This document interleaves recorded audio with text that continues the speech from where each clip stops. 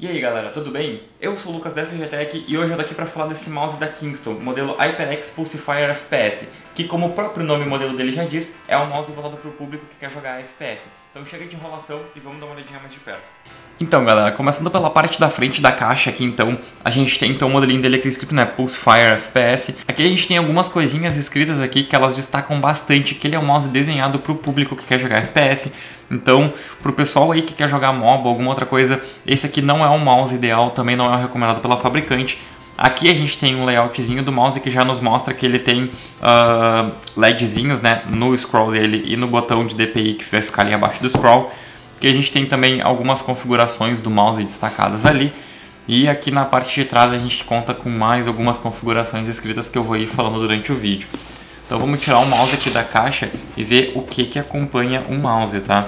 Como sempre a Kingston nos surpreende em questão de embalagem dos produtos, né? Desde que eu fiz o review dos headsets deles, eles têm embalagens muito legais aí que garantem que o produto não vai, tipo, se quebrar por mais que seja comprado pela internet e entrega via correios que não cuidam muito bem dos nossos produtos, né? Então aqui a gente tem tipo um, um negocinho aqui, um cartazinho dizendo tipo, ah, bem-vindo à equipe HyperX, parabéns por ter adquirido o produto, blá blá blá blá blá. Aqui a gente tem um guia rápido de usuário que nos mostra alguns pontos aqui de configurações do mouse e tal, destacam alguns recursos dele. Então pessoal, falando um pouquinho sobre a construção do mouse, a começar pelo cabo aqui, a gente tem um cabo de malha trançado, o que eu acho bastante interessante para um uh, mouse desse porte aqui, né, da, da linha HyperX e tal. Então eles fizeram um cabo de malha trançado aí, visando uma maior durabilidade no produto, apesar de que a gente não tem uma ponteira gold plated, tá? Uh, ele é um mouse que de primeira, quando eu peguei ele, eu achei muito leve. Ele está pesando aí algo em torno de 90, 95 gramas, mais ou menos, tá? No scroll dele aqui, a gente tem um desenho vermelho que é onde provavelmente vai acender um LEDzinho vermelho, tá? Mas ele já tem um desenho vermelho nas bordas do scroll. Eu achei um pouquinho diferente, porque geralmente ele é preto ou transparente para parecer o LED, né? Logo abaixo do scroll, então, é onde a gente encontra o botão de ajuste do DPI, tá? Então aqui na parte de baixo do scroll é onde a gente encontra o nosso botãozinho de DPI, tá? Então ele faz o ciclo de DPI para 400, 800, 1600 e 3200 Uh, lembrando que ele não tem software de configuração, então uh, tanto o DPI aqui ele vai ficar somente nesse, nesse, ciclo com quatro estágios aí, tanto quanto esses botões laterais que ele tem aqui do lado, né? Do lado esquerdo a gente encontra dois botões laterais, vão ser todos customizáveis diretamente pelo game que vocês estiverem jogando, tá? Na parte de cima aqui ele é todo feito em um plástico duro, tá?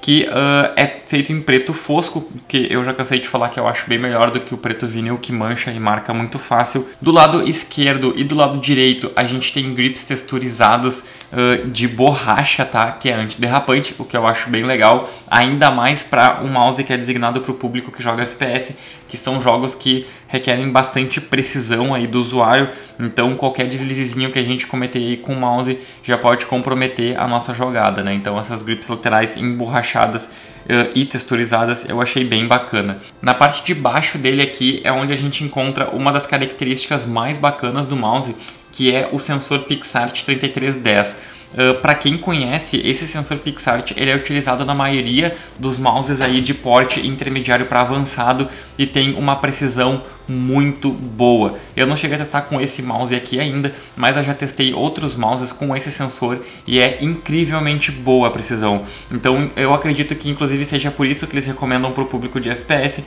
porque o público de FPS precisa realmente de muita precisão no mouse e o sensor PixArt 3310 é muito preciso. Então aqui na parte superior e inferior dele a gente encontra esses dois, uh, vocês podem ver, são dois tipo negócios pretos assim, que a HyperX denomina como skates, né? Então esses skates nada mais são do que duas partes, duas bases, né?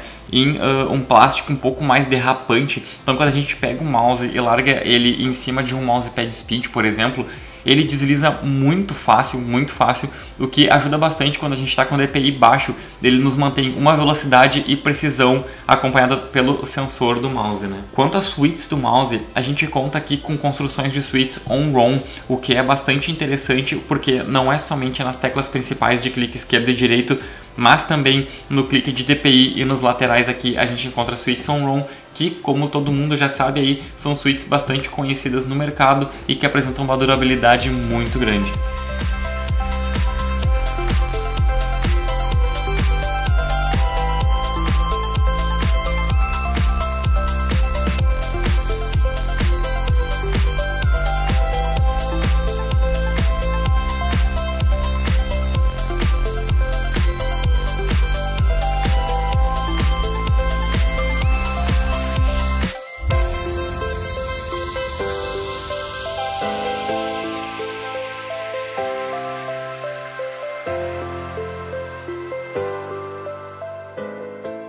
Então é isso aí, galera. Se ainda restou alguma dúvida sobre esse produto, pode deixar aqui embaixo nos comentários que eu respondo quanto antes. Se vocês gostaram do vídeo, se inscrevam no nosso canal e deixem um joinha ali embaixo. Valeu e até a próxima!